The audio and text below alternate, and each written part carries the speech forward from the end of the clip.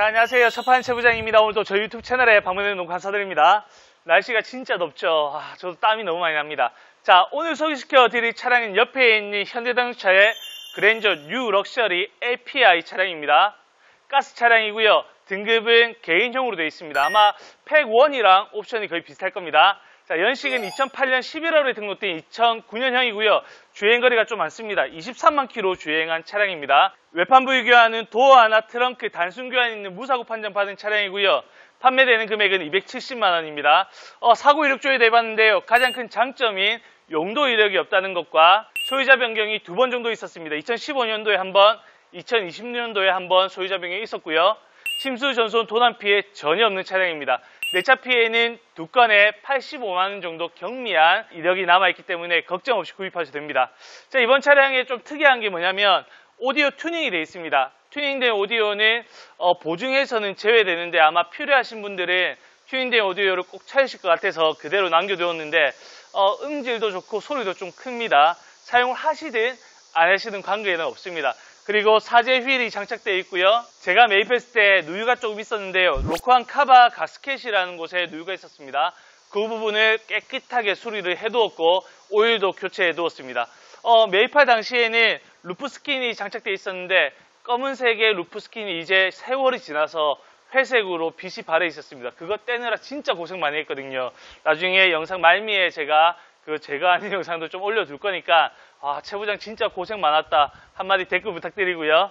자, 이제 세부 상태랑 수리 영상을 볼 건데요. 하체 점검도 깨끗하게 해두었으니까 필요하신 분은 연락 주십시오. 자, 영상으로 만나보시겠습니다.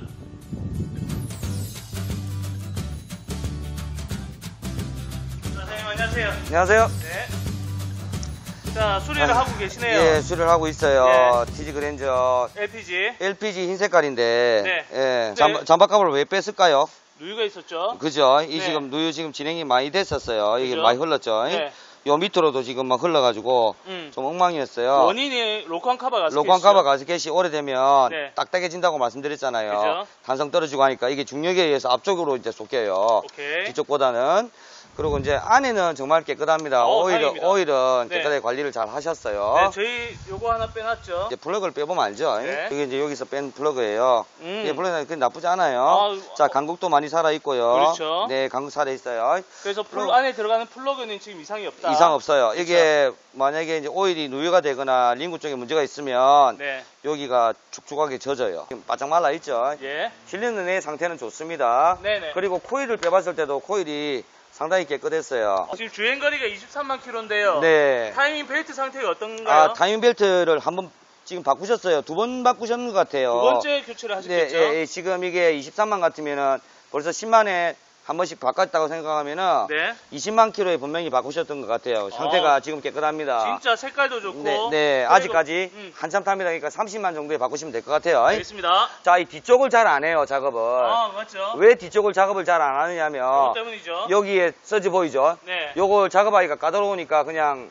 요 간단한 앞쪽만 하고 네. 뒤쪽은 작업을 잘 안 하시는데 네. 저희는 뒤쪽도 이렇게 제부장 스타일 어, 그렇죠. 예, 제부장 스타일. 자, 뒤쪽도 셉니다. 어, 똑같은 작업을 하는 거죠? 똑같이 작업을 해야죠. 양쪽으로 같이 작업을 합니다. 네. 요렇게 해놓으면 자마바킹은 타시는 동안에는 아마 누유는 없을 거예요. 그렇죠. 네. 자, 올려볼게요. 네.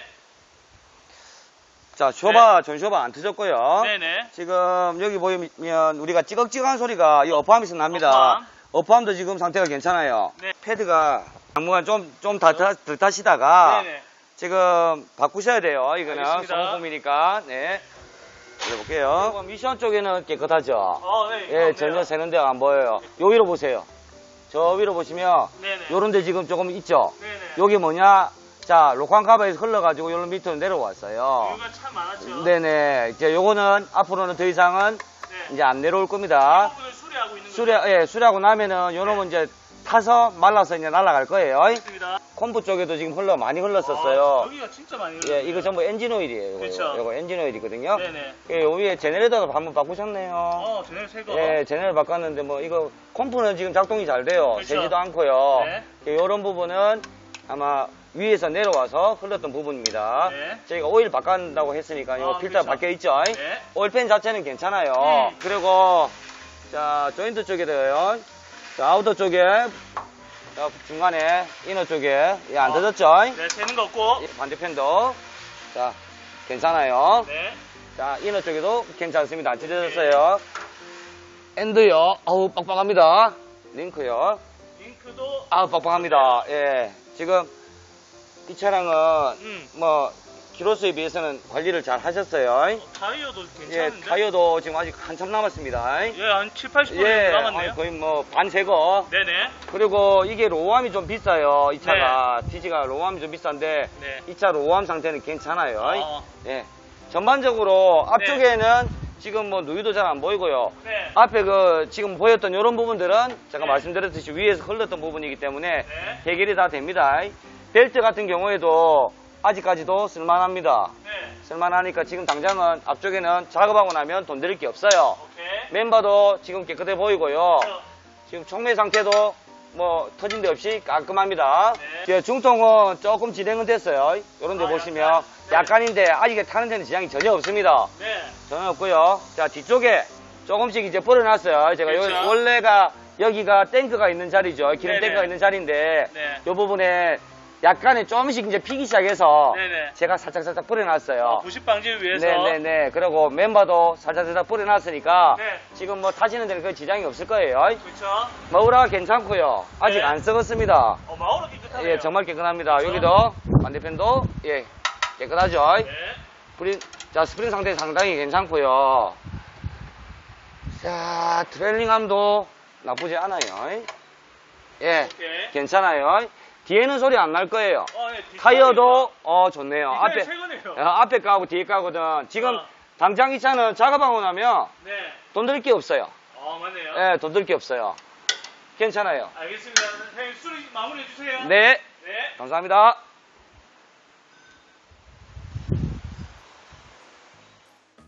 자, 이번 그랜저 류 럭셔리 외관 상태부터 보겠습니다. 인기 있는 흰색 차량이고요. 전차 주문께서 흰색으로 올도색을 했던 차량입니다. 그러니까 도색을 한 지 얼마 안 됐고요. 어, 다른 차량에 비해서 굉장히 깔끔합니다. 문콕도 많이 없고요. 어, 굉장히 광도 반짝반짝 빛납니다. 대신에 사질 휠이 휠이 상태가 조금 안 좋죠.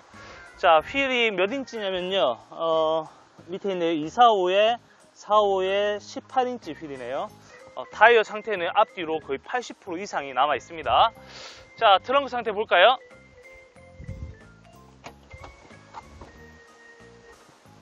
자, 트렁크를 확인할 수가 없는 게요. 어, 점프선도 있네요. 음. 자, 트렁크 쪽에는 요 안쪽에 아마 가스통이 장착이 되어 있을 겁니다. 뒤에는 이게 앰프인지 우퍼인지 잘 모르겠지만 앰프 같아요.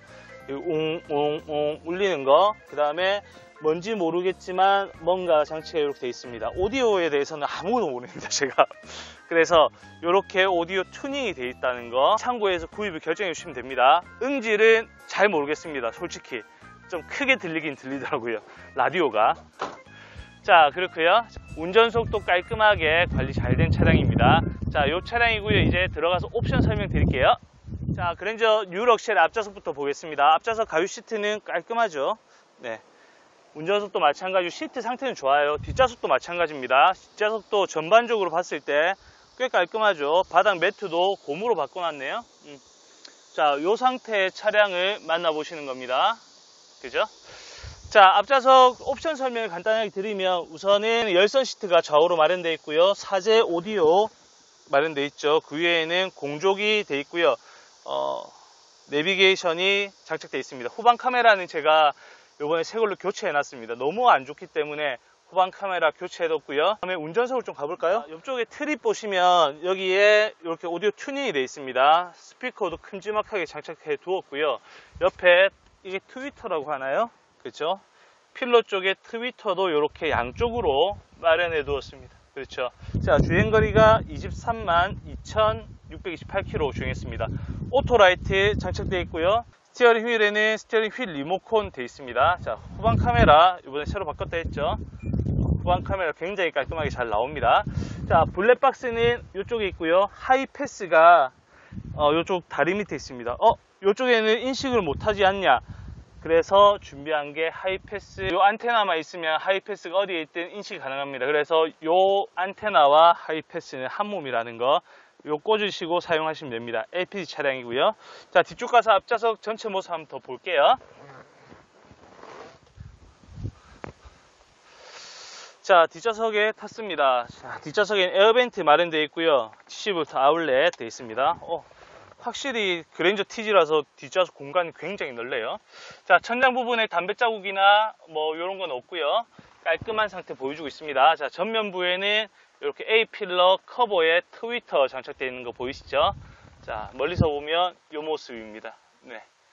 자, 이 차량이 필요하신 분은 언제든지 전화 주시고요. 이제 수리가 잘 돼 있나 또 시운전을 해봐야 되겠죠? 자, 시운전 같이 떠나보시죠. 자, 차파는 세부장의 그랜저 뉴 럭셔리 LPI 시운전을 지금 시작하겠습니다. 자, 솔직히 시운전 좀 많이 해봤습니다. 이 차량을 가지고 수리하고 나서도 수리하기 전에 뭐 여러 번 시운전을 해봤고요. 또 그래서 문제점을 발견해서 수리를 진행했던 차량입니다. 아, 이번 차량은 진짜 고생이 많았던 차량입니다. 위에 roof skin을 제가 천으로 된 roof skin을 굉장히 싫어하거든요. 벗겨내는 게 일입니다. 안 벗겨내자니 굉장히 차가 올드하고 좀 더러워 보이거든요. 아무리 깨끗하게 닦아놔도. 그래서 어떻게 벗겨내는지 영상으로 한번 만나보시고 오시죠.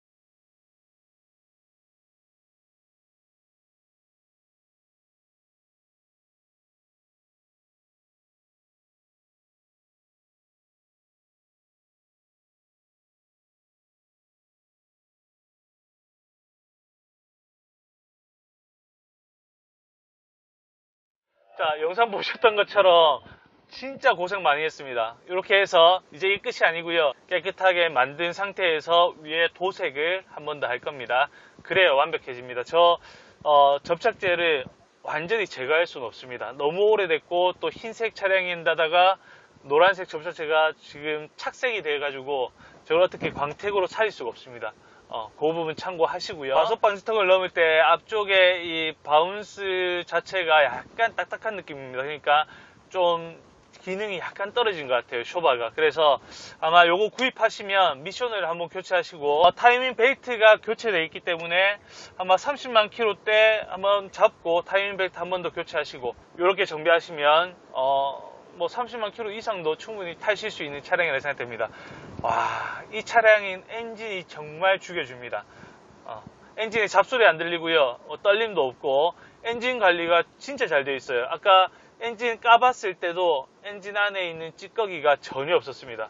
그 점이 이 차량의 가장 큰 장점이 아닐까 생각되는데요.